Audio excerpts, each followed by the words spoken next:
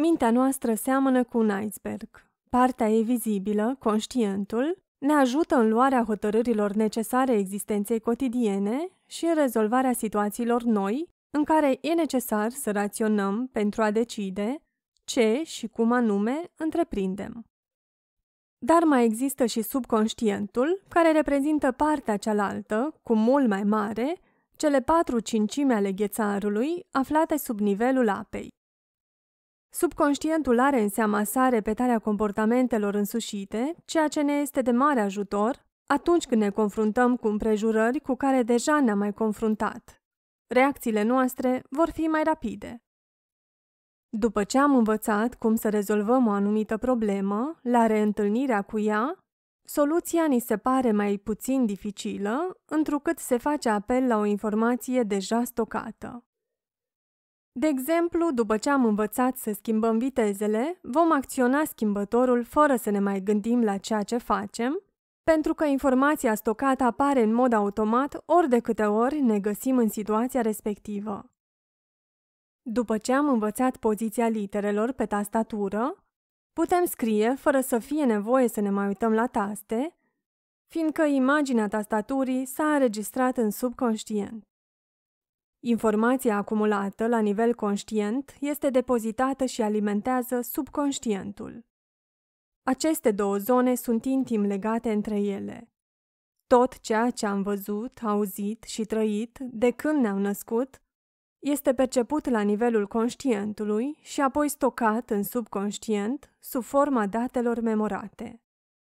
Se memorează faptul sau situația, dar și starea noastră din momentul trăirii evenimentului.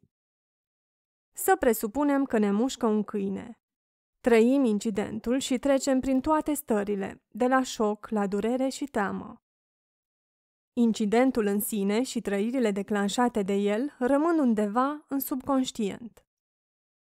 Aceste amintiri ne vor determina comportamentul ori de câte ori ne vom găsi în împrejurări similare. Când vom reîntâlni un câine, modelul memorat ne va dicta reacțiile. Vom simți teamă la trecerea pe lângă respectivul animal sau, dacă șocul mușcăturii a fost foarte intens, s-ar putea chiar să traversăm strada numai ca să evităm neplăcută apropiere de el. Să mai luăm un exemplu. Să presupunem că cineva îți repetă necontenit că nu ești bun de nimic. Acest cineva poate fi tata, mama, soțul, soția, iubitul, șeful sau orice altă persoană care își permite să adopte o asemenea atitudine. Părerea acestei persoane poate fi eronată sau exagerată, dar dacă ți este repetată fără încetare, ți se va imprima în subconștient împreună cu sentimente de mânie, resemnare sau deprimare. Dacă acestei persoane îi se oferă ocazia să-și renoiască acuzațiile, repetându-ți-le iar și iar, după o anumită perioadă de timp, vei începe să te consideri tu însuți ca fiind realmente bun de nimic și cu totul incapabil de a realiza ceva, pentru că tocmai acesta este mesajul pe care subconștientul ți-l servește în mod automat, ori de câte ori se ivește câte o situație ce te pune la încercare. Astfel, intri într-un adevărat cerc vicios. Întrucât te crezi o nulitate, le vei confirma părerea dând greș. Dând greș, te simți un ratat, astfel că acuzația inițială capătă substanța faptelor reale ca și o profeție care se îndeplinește prin ea însăși, chiar dacă s-ar putea să nu fii deloc bun de nimic. Aceste două exemple demonstrează că există o anumită legătură între informația sau evenimentele trăite la nivel conștient, faptele, stocarea acestora în subconștient la oaltă cu trăirile lăuntrice care le însoțesc, amintirea, și modalitatea în care reacționăm ulterior în situații similare, celor deja arhivate. Comportamentul. Dacă, dintr-un anumit motiv, constatăm că nu putem rezolva o anumită situație, subconștientul nostru va înregistra o informație negativă cu un traseu de memorie care exprimă eșecul și, când ne vom afla în împrejurări identice sau asemănătoare, vom presupune automat că nu suntem capabili să ne descurcăm. Această presupunere semnifică de fapt că ne așteptăm să nu reușim, ceea ce înseamnă că ne imaginăm că suntem incapabili să facem față și, din această cauză, vom și da greș, neizbutind să ne sustragem scenariului imaginat. Odată ce conexiunea fapte, memorie, comportament a fost stabilită, ea va intra în funcțiune în mod automat. Desigur, se mai poate întâmpla să uităm incidentul, dar trăirile provocate de el revin la suprafață îndată ce suntem plasați într-un context similar.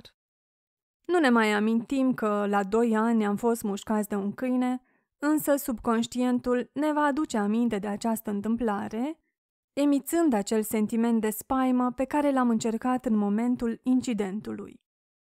Sentimentele care ne cuprind nu apar din senin. Ele sunt întotdeauna legate de un fapt real, de ceva ce am trăit, chiar dacă, dintr-un motiv sau altul, între timp am uitat de evenimentul respectiv. În realitate, cu cât trăirea a fost mai neplăcută, cu atât este mai probabilă îngroparea sau ștergerea cauzei ei, prin urmare, cu atât ne amintim mai puțin de aceasta. Trăirile emoționale stocate în memorie se vor exprima întotdeauna prin comportament.